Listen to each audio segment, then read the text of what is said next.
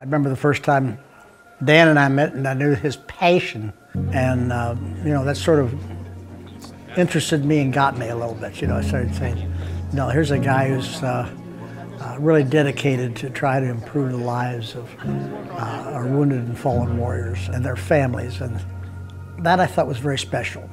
And uh, we've had Patriot Day every year, and Dan's asked me to be part of that, which I have. Uh, it's raised a lot of money. I'm very, very proud to be part of that. Uh, and then, then he comes up with one more crazy idea. Let's build a golf course for Folds of Honor. And I said, okay, I'll go along with that crazy idea too. so here we are. We're up here in Grand Haven, Michigan. What we're trying to do here is trying to do a golf course that will open up the feeling of coming off of Lake Michigan and having the dunes. Uh, you know, the feeling of trying to create something that, uh, using the name American Dunes, using the name American, using the purpose of Folds of Honor, which is intended is to honor our fallen warriors and raise money.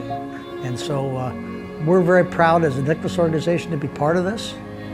We're very proud that uh, we have had the opportunity in the past to be part of it, and to be part of it in the future is very exciting for us.